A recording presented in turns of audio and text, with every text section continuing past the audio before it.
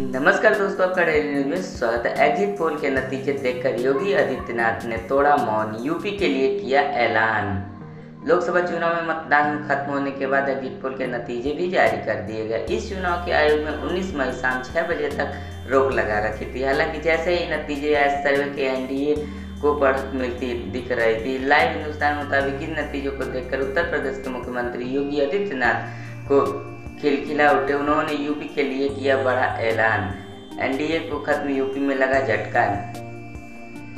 NDA NDA को बढ़त मिली ज़रूर, लेकिन भाजपा के उत्तर प्रदेश को झटका लगाई।